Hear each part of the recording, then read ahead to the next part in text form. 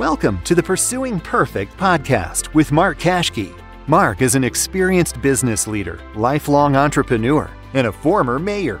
On the show, Marc interviews experts who share strategies and experiences on helping perfectionists overcome obstacles and create the life of their dreams. Today, I am excited to have with us Coach Wilson, who's a hands on coach working with people from sportsmen and athletes to talented musicians, CEOs, educators, corporate heads. And through his platform, Hyperspeed USA, he showcases his ability to develop entities and market your business to the right audience. He's made small businesses and gym owners flourish. He's a key account manager and president of ABEL Technologies, a digital fitness app based out of Norway. And he uses a multifaceted coaching skills approach to bridge the gap between developing business success strategies and fitness training. He wants business clients to think like athletes and vice versa. Welcome, coach. Pleasure being here, man. Um, you know, fortunate anytime I have the opportunity to, you know, introduce myself to a new audience, have the opportunity to speak about, you know, some of the things I do, also learn about you and really just, you know, create some dialogue on, you know, performance, you know, what people can extract from me and, you know, being better on a day to day. And you've seen performance at a number of different levels.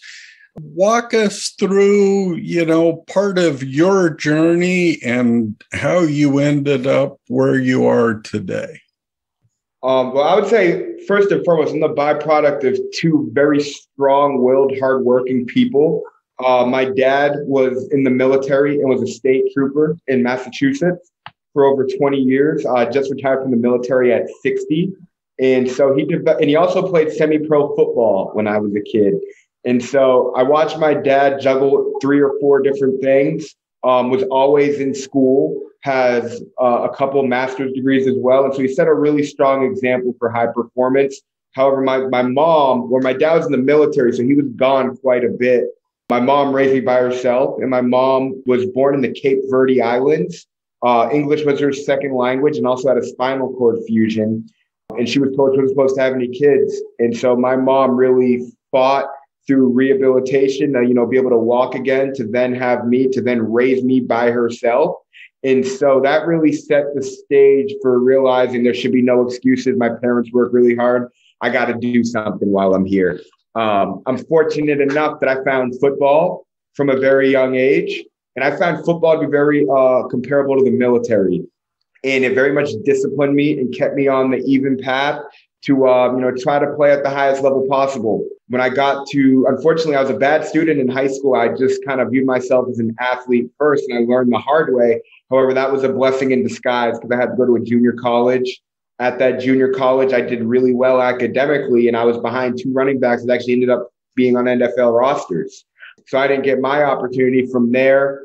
I suffered two more ACL injuries. So I never really even got my college career started, but it allowed me to develop as a professional from working summer camps to teaching to public speaking to creating after school programs to then almost being like a, another coach, a student assistant uh, in my final year of my undergrad when I was hurt, really set the stage for when I finished school and my professional career really began to take off at the age of 23. I rehabilitated my knee again. I also became a licensed EMT. That's when I started working with some pro athletes, some NFL players, and decided I wanted to get an MBA. When I went to graduate school in St. Paul, Minnesota at Concordia, was able to come across some great professors, uh, was a graduate assistant college football coach, also ran a um, park and rec center at a point in time, was an editor for the school newspaper, got to study abroad. And all those things were an accumulation for when I graduated college. I realized I wanted to be an entrepreneur and I realized that I had the ability to motivate and inspire people from being a football coach. And, you know, after kind of burning out from the football coaching thing, because that was my initial trajectory, I thought, you know, I have this business acumen. Let me start an entity. Uh, COVID slowed me down immensely uh, right as I kind of broke free from the football coaching world and was looking to um, really just kind of build a training company. Um, however, that was a blessing in disguise because I was able to um, work in the Amazon factory, write Uber, uh, drive Uber, travel all across the US, and then cover the election. It was actually an election year. And so, upon doing all those things, they really reshaped me and for who I want to be, you know, as an entrepreneur and in my adult life, I would say now as I'm getting started. And so, that's what led me to finding ABEL. Uh, ABEL Technologies being out of Norway, it's a health software app. Um, it really is just a cloud, and it can be for coaches, trainers, um, nutritionists, physical therapists, and so taking that product, I've helped them with their launch and now bringing it to the US market where I can still take aspects of, you know, my knowledge of sports, the education system, helping develop people in, you know, entrepreneurial coaching. And I have a software to, to support some of the other services that I provide. So my life's been a journey of trying to figure out, you know, how I can tap in, uh, you know, a different state of performance. And then in learning how to do so myself from physical, mental, spiritual, emotional, and then from a financial standpoint and understanding, you know, enterprise is teaching others how to do so as well. And so I wear a lot of hats. I like to say I'm a jack of all trades, but I'm a leader and an educator above all. And I always keep that first and foremost. Now, you take a little bit of a unique approach uh, there with your wanting your business clients to think like athletes and your athletes to think like business clients. Uh, fill us in a little on that philosophy. Yes, well, you know, athletes, it's a full time job. And at the age of eight or nine, I told myself I wanted to play in the NFL. And so that made that entailed some sacrifices.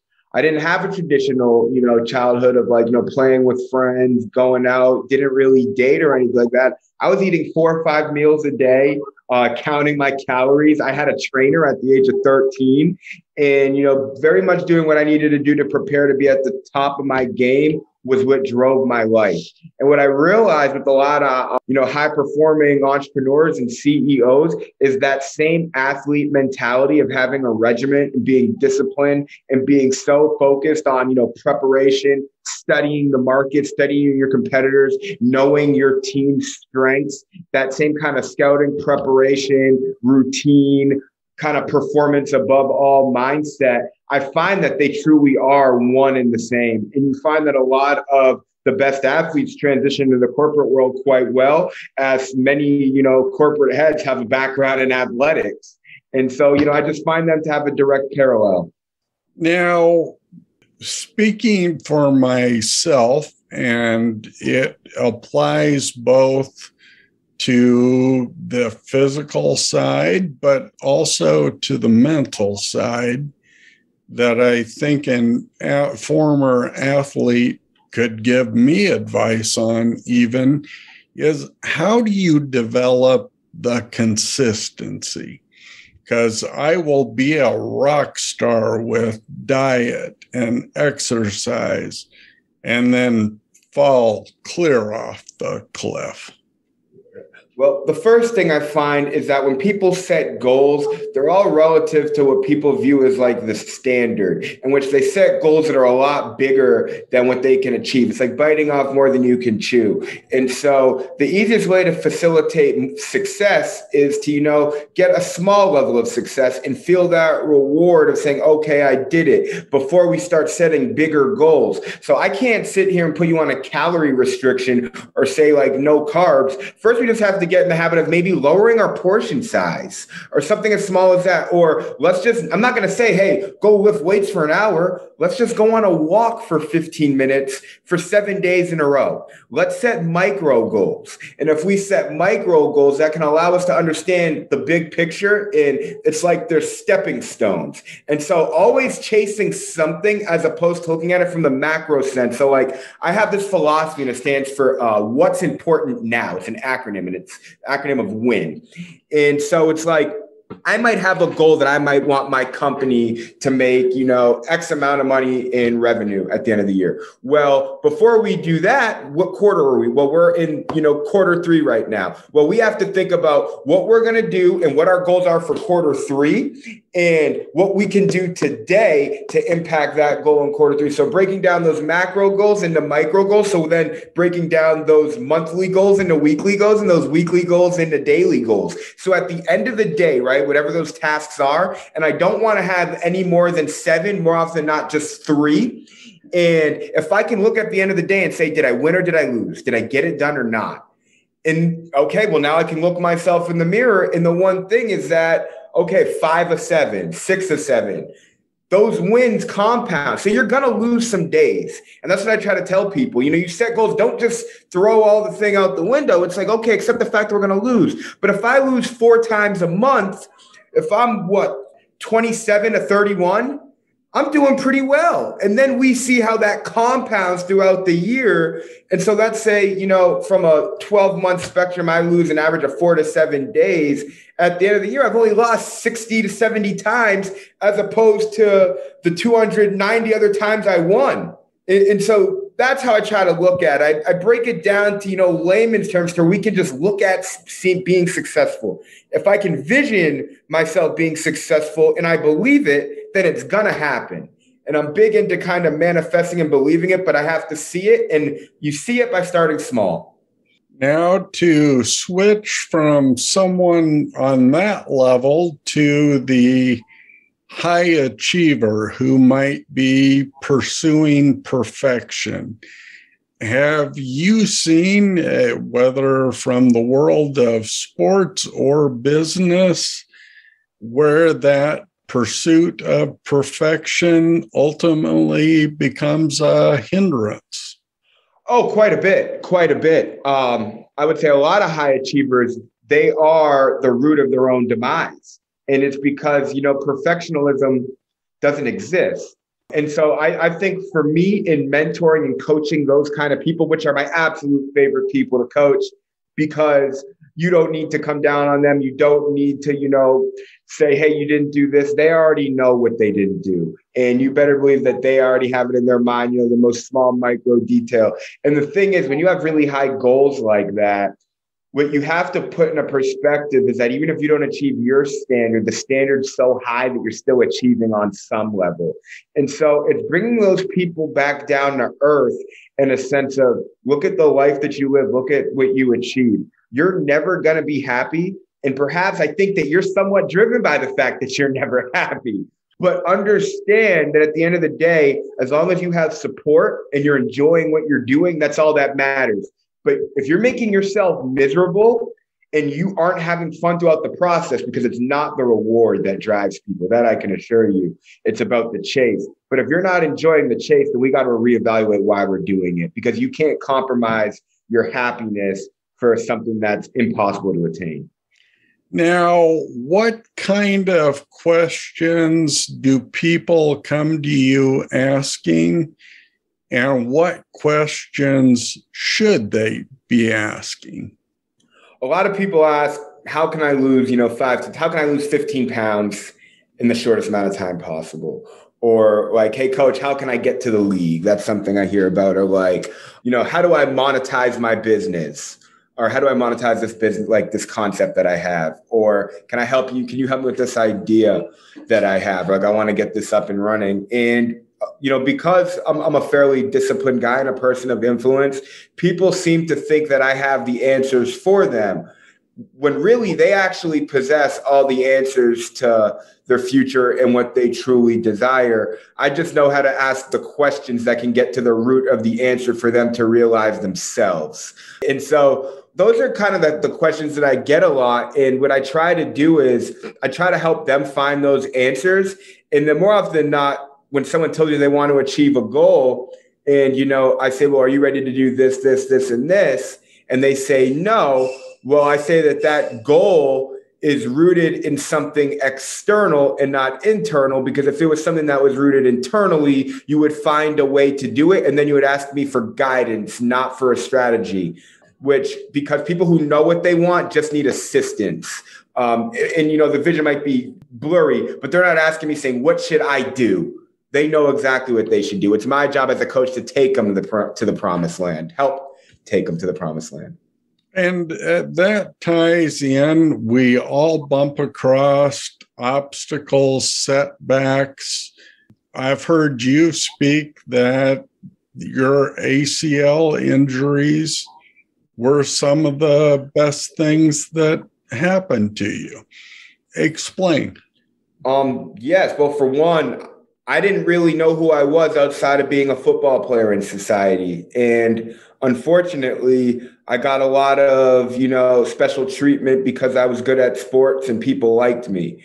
However, once I'm playing football anymore, well, I'm a shell of myself. I can't walk. Um, and if I go into a different environment, nobody knows who I am. Well, who am I?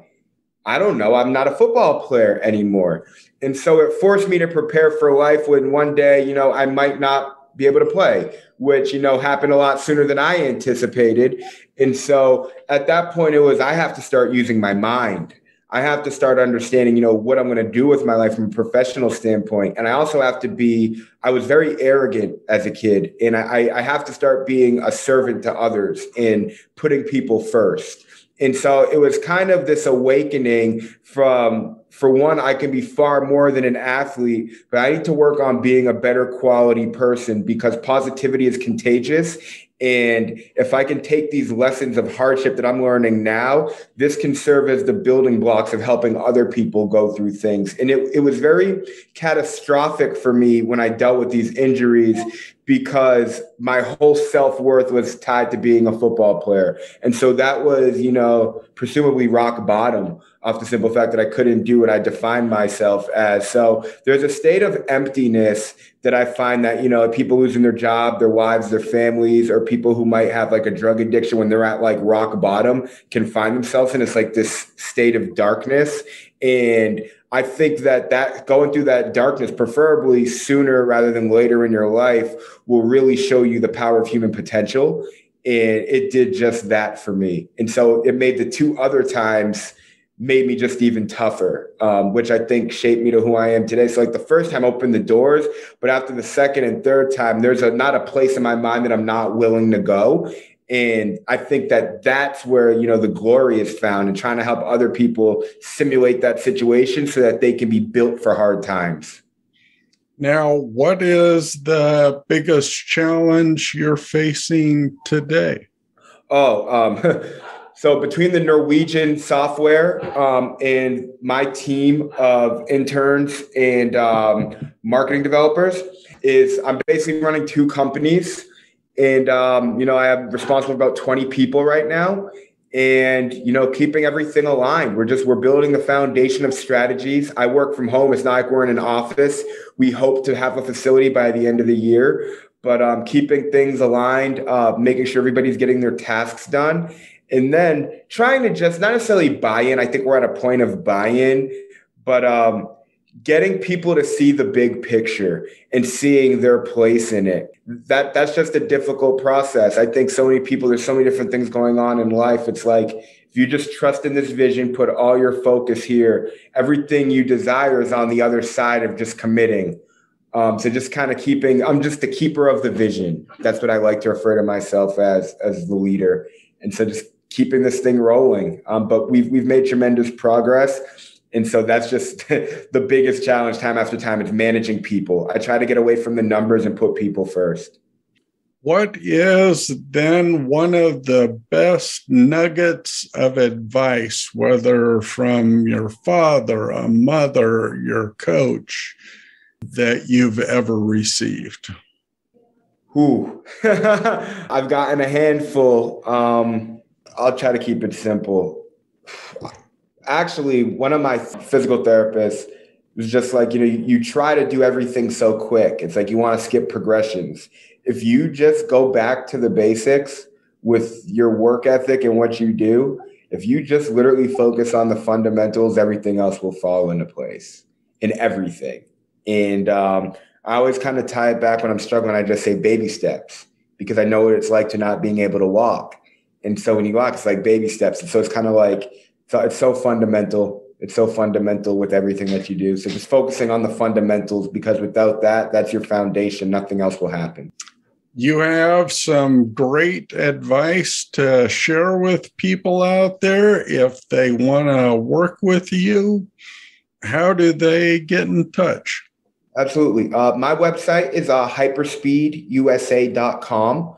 And from there, you can see a little bit about my podcast, my blogs, and then as well as some of my training services and performance coaching services. So, any entrepreneur that's looking to kind of digitize their business or come up with better ways to time manage or um, redevelop their processes, strategies, uh, like the, really just the essence of their business systems, or if anyone's looking to develop employees and the handful of interns that I have and helping um, entrepreneurs develop internship programs, um, reaching out to me on there. Um, all my information is on there. And then my website where I create um, websites for people as well as hyperspeedmedia.com. So we have hyperspeedusa.com and hyperspeedmedia.com. And then I am on all platforms Facebook, Instagram, YouTube, LinkedIn. And the name is Antone G. Wilson, A N T O N E G. Wilson. So reach out to me on there. And then I'm very receptive. Um, you know, anybody that's, you know, look, looking for just